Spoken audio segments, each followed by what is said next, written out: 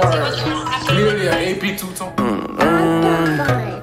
Eh ben on lance ensemble. On lance ensemble Bon bah on, lance ensemble alors. Bah bonjour à tous, vous êtes déjà là en fin de compte. Euh, non mais c'est pratique quoi. Euh, voilà. Bah bienvenue pour ce nouveau comparatif. Hein. Ouais. Et puis euh, comparatif de taille parce qu'on a pris le T-Max Euro 5. Un gros comparatif. Bah c'est des gros scooters Maya, fatalement quoi. On est au top du top là. Le maxi top. T-Max 560 Euro 5 versus Honda Forza 750, 750. qui vient d'arriver, tout beau tout neuf. Euh, on commence par quoi? Bah, La première chose qu'on voit c'est quoi? Bah, on voit quand même le Forza, allez, euh, honneur à la nouveauté quand même. Tu veux dire quoi? Au niveau du look? Oui, enfin au niveau du look, bah, déjà on commence par parler du Forza. Maya a décidé, on parle du Forza. Alors moi ce que je voulais dire c'est que j'étais un petit peu déçue euh, quand on a eu le communiqué de presse, euh, bon, de, de voir euh, ce Forza 750 avec multiples teasers, etc. Et, et finalement de voir qu'il empruntait au XADV et à l'Integra et que c'était un petit mix des deux. Bon, euh, on ne s'arrête pas à ce premier a priori, et puis j'ai eu la chance d'aller l'essayer euh, à Montpellier sous des trompes d'eau. Et là, évi- évidemment, j'étais obligée de reconnaître euh, le, beaucoup joué par Honda. Bon, alors, et face, face au T-Max maintenant, bon, bah ça, c'est une autre paire de manches. Ouais, en fait, tu vois, on est, je pense qu'on est vraiment euh, captivé par cette nouveauté. On l'a jamais vu, ce scoot. C'est vrai qu'il reprend des éléments d'XADV, et d'Integra, mais moi, je le trouve vraiment singulier. Euh, en tout cas, au niveau du look sur le T-Max, bon bah, euh, il a changé un petit peu l'année dernière. Il a été remis au goût du jour. Avec Euh, une proue un peu plus effilée. Oui, la belle intégration des clignotants, cette belle face avant. Mais mm, ouais, tu vas pas être d'accord avec moi Mhm. parce que je, je sais que tu aimes la forme originelle du maxi scooter euh, T-Max. Moi, je trouve que ça apporte vraiment quand même de la nouveauté. J'aime beaucoup cette face avant volumineuse euh, avec tous ces attributs euh, qui servent justement la protection. Ça, je non, mais je, te- je te contredirai pas sur le, le look qui est vraiment quand même innovant et qui est, qui est percutant, qui est Ouais. statutaire, effectivement. Ouais. Moi, j'aime moins le, le décrochage qu'il y a sur l'avant entre le pare-brise et, et- et Ouais. le feu. Je trouve que le T-Max, il a cette ligne d'une fluidité euh, essentielle. Fluidité, là, cette Oui. grosseur sur la partie arrière, alors que là-bas, tu sens les gènes de moto quoi, avec une boucle un peu, un peu aérienne et tout Je ça. quoi. sais où tu vas en venir. euh.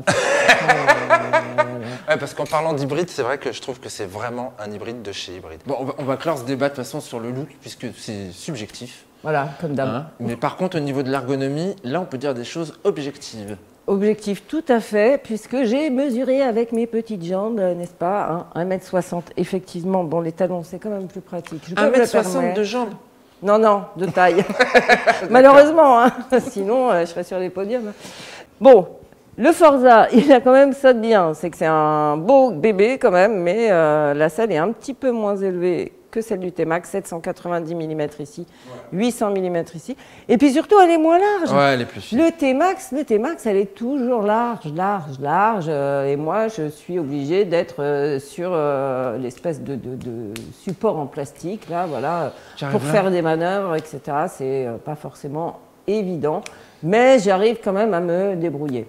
Par contre, on peut parler du passager, et le passager aussi, c'est hyper large. Là, sur le T-Max, alors, ça a un certain confort. avantage, c'est confort, sauf que tu dois un peu arquer les papates quand même pour arriver Oui, au repose mais ils ont beaucoup amélioré sur la dernière version, justement, les retours de Ouais, carénage ouais. qui gênent beaucoup moins les mollets quand même. Mais, c'est que vrai qu'on est très bien aussi euh, sur le Forza. T'es un peu plus haut. Un peu plus haut, bah, plus moto. Ouais, plus moto. Plus moto. Encore une fois. Encore une fois. Ergonomie du guidon aussi qui diffère pas mal. Moi, je note que quand je suis sur le T-Max, j'ai l'impression d'avoir les bas, mais les bras, euh, tu vois, Ouais, bas. comme Alors sur que une là, sportive. Comme ouais, sur une sportive. Euh, Ouais, il manque quand même des demi-guidons. Mais oui, ok, comme sur une sportive, tu sais me parler. Mais là-dessus, quand même, champ guidon un petit peu plus large. Un petit peu plus large, un peu plus haut. Un On a quand même haut, une ouais. position bien plus en hauteur hein, sur, le, sur le Forza. Ouais, on est plus en hauteur Ouais. sur le Forza, mais la proue monte, je trouve, un petit peu plus. Ce qui donne moi cette impression d'être un petit peu mieux protégé sur le. Forza, même s'il n'a pas la bulle électrique que peut avoir le T-Max Ouais, en version Tech Max en option. Mais j'avoue que la Protec euh, là-dessus, Ah bah, c'est le Forza de toute façon hein, qui, qui est le champion de la protection. Ah bah oui, oui, oui. Surtout que bon, là il y a des petits déflecteurs qui sont en option, ma foi. Ouais. Mais euh, ça, euh, si vous craquez pour le Forza, euh, je vous les conseille parce que euh, vraiment c'est top. ouais, c'est pas mal. Même pour le duo, c'est pas mal en fait. Ça limite un peu quand même les, les retours d'air pour le passager. Effectivement. Ok, pas mal. Tu veux nous amener sur quel terrain maintenant, Maya? bon, on n'a pas fait de off-road euh, pour ce comparo. Euh, écoute, j'aimerais bien euh, d'emblée partir sur l'instrumentation parce que euh, c'est Ah. aussi ce qui est euh, hyper impressionnant quand on arrive sur le Forza. Ouais. C'est ce- cette dalle TFT hyper bien réussie. Mm. Et ce sont aussi ces commodos hyper chargés. Euh, les boutons sont petits. Euh, ceci dit, ceci dit, moi qui ne suis pas euh, vraiment une, une grande adepte euh, de ce genre de choses, je m'en suis débrouillée. Voilà, je suis pas une geek, euh, mais je m'en suis débrouillée. On s'y retrouve. On s'y retrouve au fur et à mesure. Et- Ouais. Et, Moi, j'ai même là, les dire- clignotants et klaxons, ça m'a pas gêné. Ouais, pourtant, c'est toujours inversé chez Honda, bon. ça pose toujours un problème. Mais moi, j'ai envie de te dire, guidon fleuri, ok, mais ça veut dire flopper d'équipement qui va avec. Ah ben oui. Et, et- Et, et là-dessus, bah, là-dessus, forcément. il- Parce que là, on a le il- Ride-by-Wire cette année, donc sur la plateforme NC750. Donc, ce qui nous permet d'avoir maintenant des cartos, euh, quatre modes de conduite, Voilà. alors qu'avant, c'était un petit peu compliqué avec les modes S, tout ça, la transmission DCT. Là, moi, je trouve ça quand même Mm. Pas mal. On a plein de réglages, frein moteur, euh, réponse à la poignée. euh, tu peux régler, bien évidemment, le traction control sur quatre positions. Oui, oui, bah, enfin, toi qui es habitué euh, hein, à toutes les Ouais, à ces hypersports grosses bécanes, ouais. etc. Ouais, moi, bon, j'adore, bah, j'adore. c'est- T'adores, t'adores ça. Ouais. Moi, je trouve ça intéressant hein, pour celui euh, qui, Ouais. a envie, euh, qui a envie d'y jouer. Après, euh, j'adore le côté plug and play du T-Max. Ah, tu c'est montes, ça. tu démarres, tu pars. Et T'as encore quand même, là-bas où t'as quatre modes, là maintenant t'en as deux ici, euh, le mode T ou le mode sport. ça, c'était déjà sur la version. C'était déjà sur la version précédente. mais tu l'as. Tu as un traction control que tu peux mettre Ouais. en off ou que tu peux laisser. euh, et l'ABS. l'ABS. Et l'ABS. Voilà. Donc c'est vrai que le, le T-Max, pour le coup, il reste euh, beaucoup plus simple hein, du Ouais. point de vue technique. À l'image de son instrumentation. Oui, un peu voilà. vieillotte, mais moi j'adore les cadrans analogiques, tu vois. Tu veux qu'on parle un petit peu des équipements optionnels ou on en reste euh, là-dessus? Oh bah, euh, écoutez, non, vous verrez, hein, vous vous débrouillerez pour voir les options. Oui, parce que toutes les options, vous pouvez les retrouver. Vous vous débrouillez, ça veut dire aller sur motoservice.com. Bien Voilà, c'est ça. Ouais, tout est listé, ouais. tout est bien écrit. Euh, on va juste signaler qu'on a la version standard du T-Max hein, et Oui. pas la version Tech-Max. Et pourquoi on a la version standard euh, du T-Max, ma chère Maya? Eh bien, parce que niveau prix, euh, elle est euh, plus cohérente face à ce Forza On en reparlera tout en à l'heure. sujet. Euh, Est-ce qu'on n'attaquerait pas par les performances moteurs? Eh ben, parce- vas-y à fond, déjà toi, parce que c'est toi qui les as faites.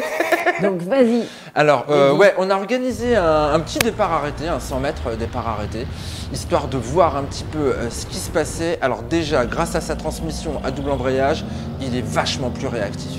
Il répond d'emblée. Heureusement y a le traction control sur Mm. surface meuble pour limiter les dégâts. Oui, oui, j'ai Ouais, testé aussi. Sinon, ce serait concours de virgule, quoi. Et on n'est pas euh, chez apostrophe.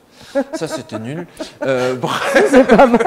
Non, non, c'est pas mal, c'est pas. Maître. Capello. euh, Donc, on a organisé ce petit euh, 100 mètres départ arrêté. Alors, résultat, 6 secondes 4. 6 secondes 4 pour le Forza. On me confirme? Non, Houston? Pour le T-Max. Pour le T-Max, on me confirme. Alors que pour le Forza, on était à 6 tout pile. Ok, Tout pile. tout pas Donc, quand même une demi-seconde sur euh, juste 100 mètres, quoi. Parce que, euh, voilà, Ouais. plus de réaction. euh, Mais là, c'est là qu'il faut dire que quand même, on a euh, un moteur plus puissant hein, sur le Honda, Ouais. 745 cm3, et et donc Plus plus, gros. de puissance. Voilà. Et forcément. Combien la puissance On a dit exactement sur le Forza? 43,1 kW, 58 chevaux.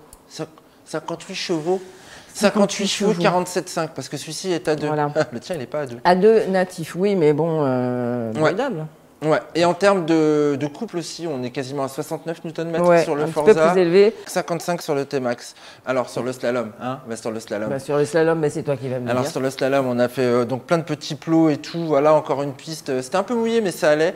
Et ben c'est le T-Max qui gagne. Le T-Max qui s'en sort en 11 secondes 04, si je ne m'abuse. Euh, alors qu'avec le Forza, on était juste à 12 secondes. 12 secondes 05. un Et ça, comme quoi. Poids, le poids, le poids, chérie. Il y a peut-être le poids, t'as raison, mais il y a surtout, moi j'ai ressenti un truc en faisant du zigzag, c'est qu'il avait euh, une direction plus naturelle. Là, on est plus sur La quelque jante. chose de moto, tu vois, faut t'en occuper un petit peu de la direction. C'est la jambe de 17 pouces euh, du Forza C'est la jante de, dix- c'est la jante de 17 pouces, t'as raison. C'est pas l'empattement, on a vérifié, Oui, finalement, il y a très peu de différence. identique. 5 mm de différence. Jante de 17 pouces, tu es un petit peu plus en hauteur, euh, tu as un petit peu plus de poids vers, sur l'avant avec le Forza. Ouais, ouais, Là, on on, a une répartition des masses qui est un petit peu plus homogène, on a moins de poids, on a cette jante en 15 Mm. pouces. Et on a, je pense, cet instinct naturel voilà, à, voilà, à vraiment partir sur du C'est ça qui est toujours bluffant avec le T-Max, c'est qu'au au fur et à mesure des années, bah, il perd pas cette euh, caractéristique. quoi. Heureusement, tu vois, ils ont du mal à le faire évoluer en cylindrée. Je pense qu'ils sont bloqués par toute la partie cycle. Ils ne peuvent pas mettre un plus gros moteur. En revanche, pour euh, bah, justement tout ce qui est partie cycle, là, ils sont au top. Ouais, ouais, Ils sont au top. Et c'est pour ça que c'est le roi de la ville, euh, finalement. Et que celui-ci n'est pas si mal, mais il a un champ d'action autre. Et alors, comment tu t'arrêtes à la fin du slalom? Bah, tu t'arrêtes, t'attrapes tout, déjà, vu que voilà, il faut s'arrêter court. Moi, j'aime bien le système euh, du Forza. En fait, je les trouve aussi mordants l'un et l'autre. Euh, mais j'aime bien, en fin de compte, le maintien en ligne euh, du Forza. J'aime bien l'ABS, le système ABS. J'aime bien les pneumatiques. J'ai préféré les Pirelli au Bridgestone. Je suis Euh, tout à fait d'accord avec toi, jusque-là. Moi, perso, je préfère le, le feeling, le premier feeling à la saisie du levier euh, sur le T-Max. C'est un Ouais. petit peu plus ferme, hein, euh, et puis super dosable, super subtil. Mais euh, sinon, enfin, on peut, on peut pas faire de reproche euh, de toute façon à l'ensemble la partie cycle du Forza. C'est comme pour euh, les suspensions. C'est comme pour les suspats. ouais. Hein, je veux dire, là, on est vraiment euh, sur le top du top. Ouais, on est sur du- du high maxi level. scooter, aussi bien euh, pour ce qui est de la tenue de route que Ouais. pour ce qui est du confort. Ouais. Euh, Enfin, le, le- le T-Max, tu montes dessus, moi j'ai l'impression que c'est un tapis volant. euh, le Alors que lui demande un petit peu plus. euh, moi, je le trouve un peu plus dur de l'arrière. J'ai trouvé une Peut-être certaine. un euh, c'est pour ça qu'à deux, je me sens Mais vraiment c'est bien peut-être moi parce que l'arrière est plus léger aussi. C'est pas faux. Tu vois Il est bien assis, le, le T-Max. Il est bien. C'est pas faux. Mais en règle générale, quoi qu'il arrive, un T-Max, j'ai bien l'impression que c'est plus facile de prise en main que le Forza qui demande un petit peu plus d'implication euh, motarde entre guillemets, j'ai envie de dire, fait. parce qu'on est sur un véhicule à permis. Bah, euh, ça, c'est presque, on est presque à la conclusion, mon cher Mehdi. Bah oui, Mais, euh, on, va peut-être parler d'abord du coffre. Ah, tu veux qu'on parle des aspects pratiques? On va aller vite fait pour dire, que, pour Allez, dire que le T-Max, il est quand même un petit peu plus vaste. Même s'ils ont réussi, grâce à la jante de 15 pouces à l'arrière, là, Ouais, à euh, passer. à, à faire passer un gros, Ouais. un gros modulable. Mais le Forza, on peut lui mettre des jolies petites valises. On peut lui mettre des jolies petites Voilà. valoches, on peut lui mettre un top case comme au T-Max. Tu vois, le T-Max, il paye cette bonhomie euh, de l'arrière-train euh, Oui, c'est vrai que le top avec... case euh, s'intègre très bien sur les Forza et peut-être un petit peu moins sur le T-Max. Ouais, puis t'en vois pas beaucoup, mais je pense plus Non. que c'est parce que ça casse, euh, ça casse la ligne. Du coup, bah, si on en vient là à la conclusion, Oui, madame. Euh, bah, le Forza, il gagne au point pour moi par sa polyvalence. Ouais. Parce qu'il est plus GT, il, pourra faire de la ville aussi bien, tout à fait. Mais il a ce côté vraiment GT. Bon, dommage pour ce pare-brise euh, pas réglable électriquement. Ouais. Euh, manque un régulateur de vitesse aussi. Et là, ce serait vraiment euh, un, un GT conséquent. quoi. Mais tellement le régulateur de vitesse, je plaide Oh. 100% En d'accord. revanche, euh, côté cœur, bah pour moi, ce sera peut-être encore le T-Max. D'accord. ses- Son, côté envie, euh, la, la rondeur de son moteur, euh, euh, ses performances aussi. euh, et puis, il a une sonorité un petit peu plus feutrée tout en étant. euh, Oui, on n'en a pas parlé de ça. C'est vrai que c'est de- ouais, très maxi-secteur, un de broap, broap, broap. Là, on est quand même sur un esprit un peu bécane, mais avec cette spécificité du double embrayage. Je suis pas fan, moi, du petit cliquetis, euh, brrr, le petit truc mécanique qu'il y a quand Moi, euh, je trouve que ça se sent pas quand trop, euh, mais je trouve que le volume sonore sur les Forza, quand, quand t'en vois un peu, c'est, il est présent. Quoi. Puis ça fait bien caisse de résonance, là, tous les carénages. euh, le prix est-il un juge de paix? Ben, pas tout à fait, parce que finalement, là, euh, avec le T-Max en version de base, 11 999, 11 999. et le Forza sans ses options, à 11 649. D'accord. En plus, garantie 5 ans C'est ça et assistance 5 ans. Et il y a un truc aussi. Euh, moi, j'ai appris ça en allant chez euh, RMP Workshop, les intervalles de révision. Là, on Ah est oui. sur quelque chose qui est vraiment autour des 5-6 000 bornes. Là, on passe vraiment sur le segment bécane, on dépasse allègrement les 10 000 km. toutes les informations précises sur motoservice.com, bien sûr. Ouais, ainsi que la conso, tout ça. euh, Oui, Si conso, on n'en a pas parlé. Le Forza consomme un petit peu plus, elle est Ouais, 5,5 en 0,3 moyenne. litres. Ouais. Sur cet 5,5, essai. Hein, sur cet 5,5, essai. 5,2. Ça peut être plus bas, hein, parce que Qu'est-ce qu'on n'a pas dit comme chiffre? Les poids, 236 TPF, 235, 235 Ouais, Moi j'avais 220. 236. 220 C'est pas 212 220, Regarde ton papier. tout plein fait. 220, 220, Ok, donc 220. 220. 220. Voilà. Ouais, mais voilà, on en a pour plus. Avec le, quasiment le même prix. Même moins cher. C'est pas de l'argument, ça, quand même Eh, passe au Hein magasin. Passe au magasin, tu as- eh, Bon, eh. Voilà. Bon, tu repars avec lequel?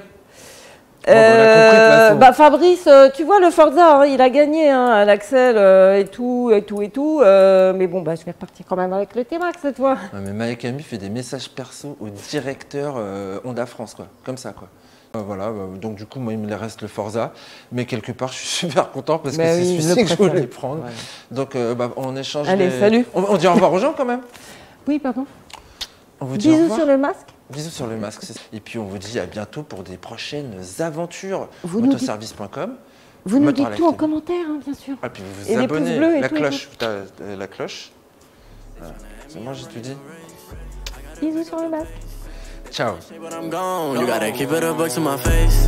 Taking that gang out of space. Especially if you stay in your place. They hating on all of my songs. Yeah, I don't know what can I say. They throw me shots, but I'm saved by His grace. God is the shoot, I'm the lace. Running around got me stoned, man. Feels like I'm stuck in a maze. Shoot at the Oculus the case. They sipping only 96. I can do it on my own. Yeah, they judging me off my mistakes.